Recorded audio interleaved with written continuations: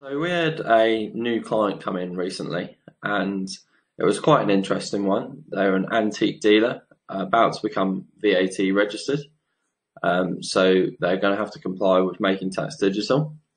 Um, and obviously, with antique dealers um, and VAT, they will use the margin scheme. And so we had to think of a way that we could use QuickBooks Online um, and get the VAT right for the margin scheme so um, we came up with an answer, and I thought I would share it because it's quite um, unique in terms of what we've looked at so far uh, for VAT on QuickBooks. Um, and so a little bit of background about the margin scheme to start with. Um, effectively, the way it works is um, you only pay the VAT on the profit that you make on um, selling an item which you've previously bought, which you didn't claim VAT on the purchase. Um, and the record keeping requirements for the margin scheme um, are you have to record the uh, the stock number um, of the purchase, the, the date, the invoice number, price, name of the seller, description of the item, and on the sale, the date of the sale, the sales invoice number, the selling price, uh, the name of the buyer, and then uh, what's key is that the margin on the sale has been recorded, and then the um, obviously the VAT as well. So typically, um, the way that this works for antique dealers is they'll keep um, these records in a stock book. Um, but like I said, we've actually found a, a nice way of doing it on QuickBooks Online. So I'm going to go through that now. So the first thing that we had to do, and, and this is in our sample company here, GMT, is we're going to create a stock item.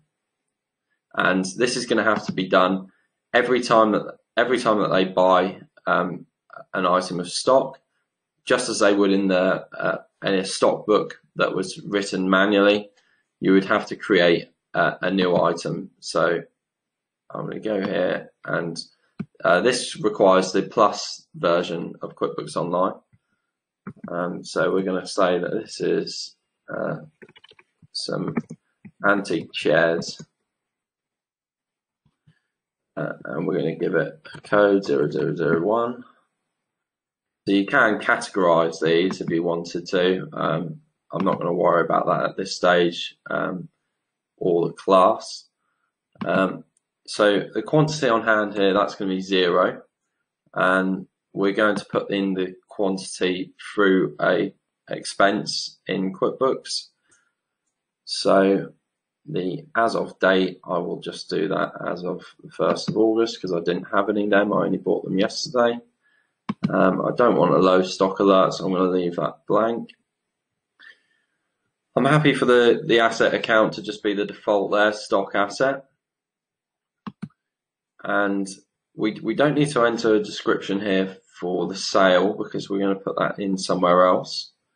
Um, uh, this can just be whichever income account you want to record your income in. Uh, this one's key though. This one has to be the selling uh, the selling price here that you put in has to be the same as the purchase price. So what I'm going to say is that we bought those a couple of antique chairs yesterday for a, a thousand pounds and I want that to be inclusive of tax, not that it matters too much, and I'm going to say that that is no VAT, and purchase, purchase information next, antique chairs times two, it costs a thousand pounds, and I want those to go into the cost of sales once they've sold, and um, obviously this doesn't matter too much. I'm just going to take that for consistency and that will be no VAT as well. Um, you can forget about the preferred supplier, that's not important at this stage. So we've saved that. And now what we need to do is add in one for the profit margin that we're going to make when we sell it. So I've done this one already, so I'll just open that up and show you what it looks like. Um, so effectively, this is a service item, and we've just called it profit margin there. we don't need to put any information in at all. Um, the key here though is that we have this set at 20% and that's going to be inclusive of tax. I'm not going to put a rate in because this is going to be different on every item that you would sell. So we'll save that. And the next step that we need to take is to now create a bundle. And we're going to call this uh, antique of chairs. the name of this has to be slightly different to the name of the item that you put in for the chairs because QuickBooks won't let you put uh, the name in, the same name in twice. Um, and, and this is the one that's going to show up on your invoice when you sell it. Um, so the customer's going to see this. So just make sure that it's something that's um, relevant. Um, I'm just going to say uh, oak chairs, 1930s. I don't know anything about antiques. Uh, so set of two.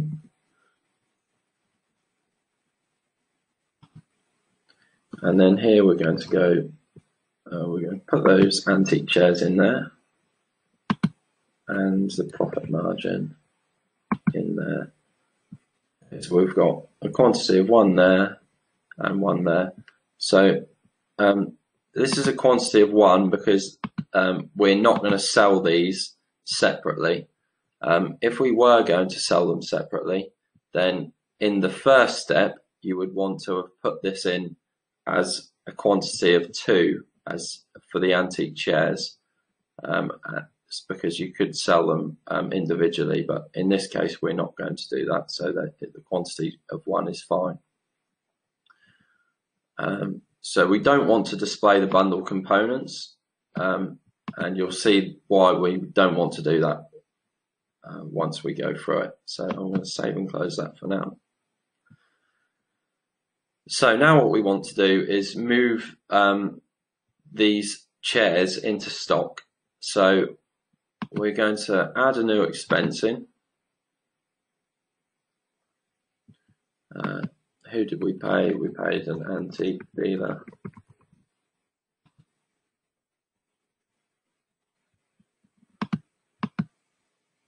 And we probably paid them in cash and I bought those yesterday.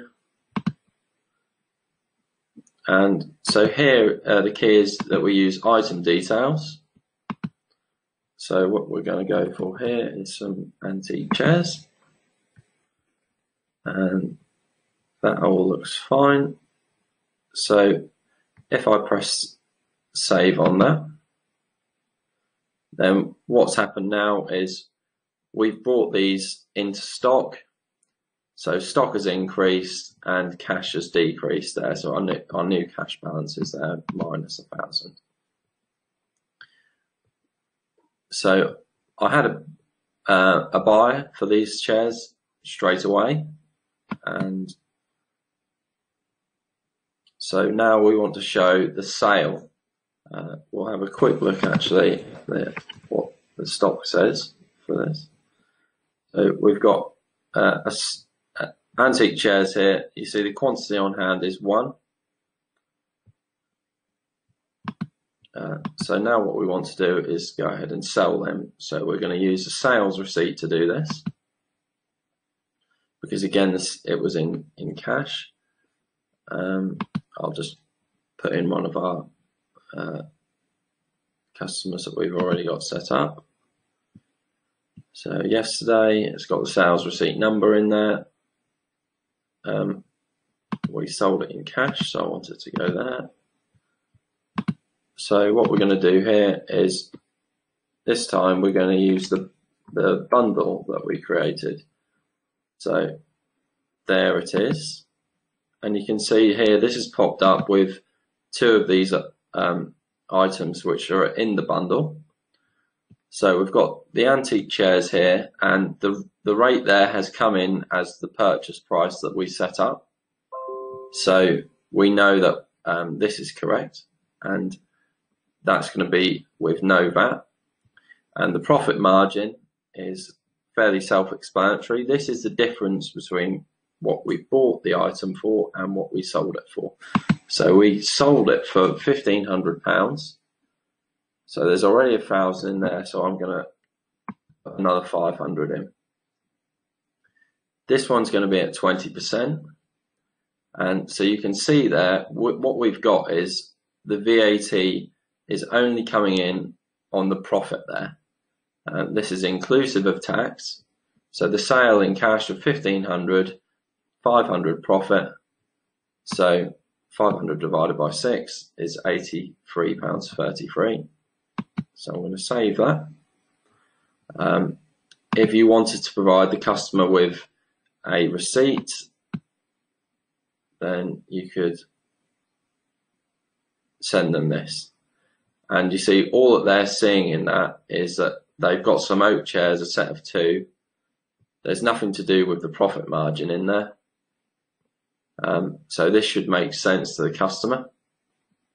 You can see they can see that it includes a little bit of VAT there, and uh, because it's a sales receipt, it was received in cash, so there's none left due.